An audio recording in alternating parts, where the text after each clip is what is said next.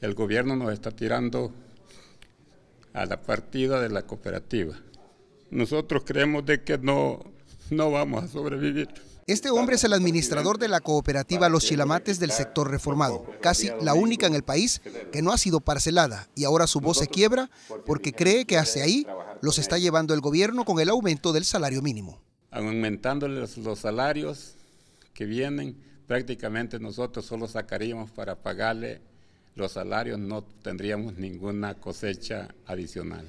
La cooperativa que administra Miguel, junto a cuatro gremiales de cañeros y los miembros del sector productor de las comisiones que supervisan la zafra 2016-2017, se reunieron de urgencia para analizar una serie de medidas y convencer al gobierno de la inviabilidad del aumento del salario mínimo en la cantidad propuesta para los rosadores de caña. Nadie está en contra de que la gente gane más, pero así como está ahorita el bolsillo del, cañicultor, es imposible absorber este, este aumento desmedido de, del salario.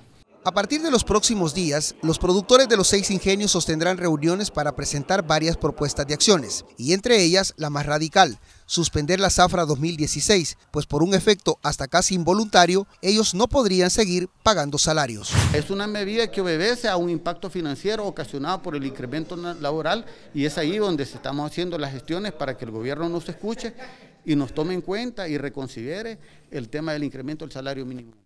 Los cañeros sostienen que podrían aumentar hasta un 15% del salario mínimo y de forma gradual, y por supuesto, previo a un análisis de otras medidas en las que saldrían afectados muchos sectores. Como está planteado ahorita, el, porrazo, como se dice, le, está cayendo al productor, ¿no? el que es el que paga la rosa de la caña. Eh, tal vez con estos estudios y estas otras alternativas se pudiera diluir un poco y que otros sectores también absorban, ¿no? El caso del incremento del azúcar, impopular, porque le tocaría a todo el pueblo sufragar un poco, ¿no? Según datos de los productores de caña, más de 250 mil empleos podrían verse afectados en el plano local, pero a nivel internacional la producción de azúcar podría hasta incumplir los contratos de cuotas internacionales. Para el noticiero, Julio Rodríguez.